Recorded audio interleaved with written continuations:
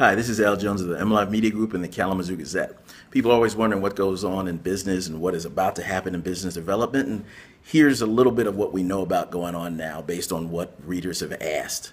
Uh, people are wondering what businesses will fill out the acreage adjacent to the new Costco store at the corner of Drake and Stadium Road out in Oshtemo Township.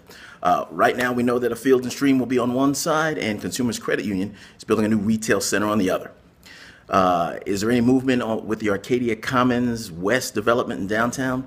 Yes, the task force that is working to fill out what is the largest unused plot of land in downtown Kalamazoo has chosen from one of the two uh, economic, develop, uh, economic development uh, organizations that were up to be its partner in that process, but they haven't named which one. We expect that to come up in the next couple of weeks as to who it is, and then they're going to move along with the process of figuring out who's paying for what, what is actually going to be developed, and setting up a range of meetings so that people can have public input on what goes on there.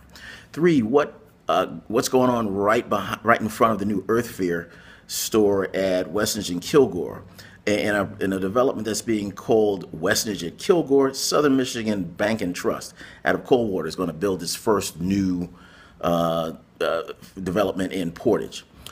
Next question is anything going on at the old Hardings and at Howard and Westnedge? Yes, uh, the Callender Woolham and the folks that own and operate the Park Street Market on Kalamazoo's north side are working on a plan for what to do with that property, but they haven't really announced anything yet. And lastly, what about the Exchange Building, the downtown building uh, project that was supposed to change the skyline of the downtown? It was announced back in uh, uh 2011 uh, $14 million commercial residential project. Uh, nothing has happened so far, but Phoenix Properties, led by, uh, by Craig Taylor, Taylor, is still saying that they are going to put something together there that makes sense.